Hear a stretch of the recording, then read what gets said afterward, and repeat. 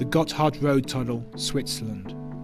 One of the most important crossing points in the Alps. The Gotthard Mountain Pass is the shortest connection between North and South Europe, a vital trade route since the Middle Ages.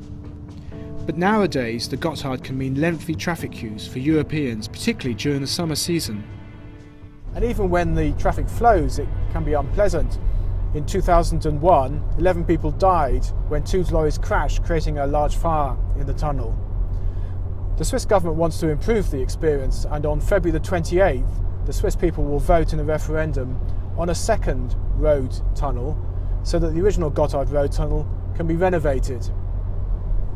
The government says the new tunnel is needed for safety reasons, and even with the extra tunnel, capacity will be limited at existing levels. Nevertheless, a yes vote on February the 28th is far from guaranteed. Opposition to a new road tunnel is strong from environmentalists such as Manuel Herrmann from the Alpine Initiative, who wants to protect the distinctive character of the Alps, and who argues that the Swiss have agreed the priority is to shift traffic from road to rail. You imagine if one million lorries they travel through an alpine valley with all that noise, that pollution, that just concentrates on the places where the people live, what effect that has on these valleys. You build a second road tunnel which will increase the capacity to four lanes. Uh, we have, well, all the freight traffic from northern to southern Europe passes through Switzerland, or a big part of it. And pressure to use that corridor, that road freight corridor, will be immense, will be very big. Mountain trading routes have defined Switzerland since the Middle Ages. And in 1856, Credit Suisse, which is now one of the country's biggest banks, was founded to finance the original rail tunnel through the Gotthard Mountain.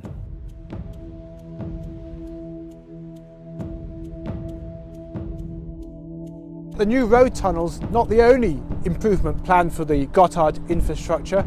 Here at the base of the mountain in June, Switzerland plans to open a new 57 kilometre long rail tunnel, the longest in the world, which has cost at least 10 billion Swiss francs to build.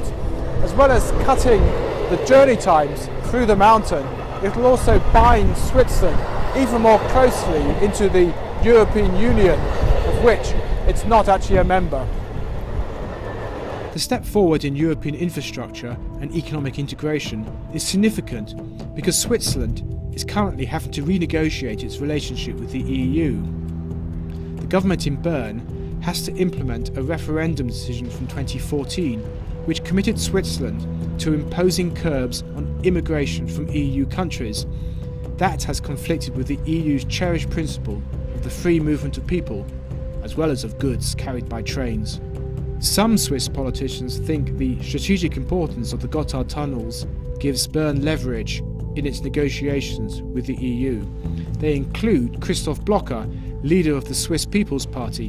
He strongly opposed EU membership, and his party won the most votes in last October's parliamentary elections. Europe said to Switzerland, we stopped all the, the contracts with you. We say, good, do that, but that is the, the traffic, the traffic contract, and you have not the Gotthard.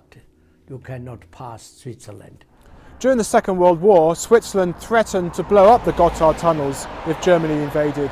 But these days it's hard to imagine a country could make anything like that sort of threat, if only because it relies on traffic from the EU to finance all the money it's spent on building such infrastructure.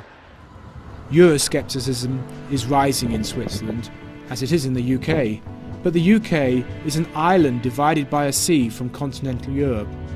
The Gotthard tunnels show Switzerland is inescapably at the heart of Europe. Ralph Atkins, Financial Times, the Gotthard.